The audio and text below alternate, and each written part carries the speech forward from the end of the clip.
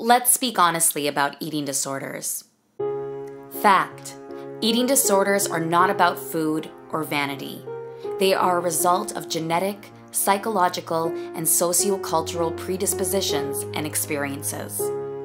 An eating disorder is a mental illness that thrives in silence. In an effort to celebrate recovery and encourage more people to seek help, we wanted to break that silence. Fact Many who struggle with eating disorders have expressed feeling as though their senses have been numbed. This has resulted in a deeper feeling of separation from the world around them. For this reason, we found some brave volunteers, real people who have overcome eating disorders, and we asked them one big question. After recovery, what does a taste for life mean to you? To me, a taste for life means to feel alive again and to really appreciate the loved ones in my life. To me, a taste for life means connection to all things through a sense of illuminated awareness, being fully present and showing up to experience the intimacy of life. To me, a taste for life means reconnecting with my senses re experiencing what had previously been overshadowed by the dark gloom of anorexia.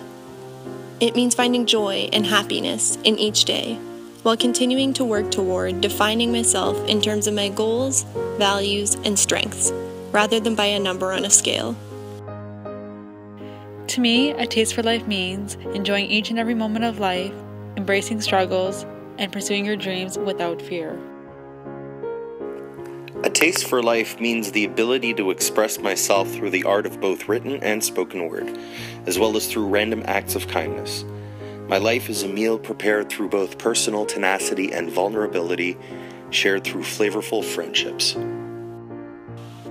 To me, a taste for life means freedom, authenticity, vulnerability, and the courage to live a life that is perfectly imperfect. To me, a taste for life means dancing around my cake batter splattered kitchen with my miracle of a wee beauty while listening to the Gilmore Girls theme song on repeat. It means living my life full of wild grace and pure joy and thanksgiving for the best gift I have ever been given another chance to rise again.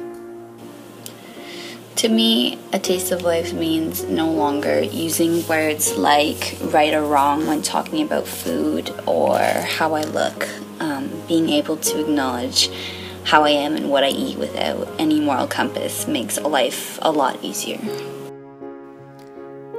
To me, a taste for life means freedom to just be, to finally own who I really am, and to now experience a life filled with more joy and truth.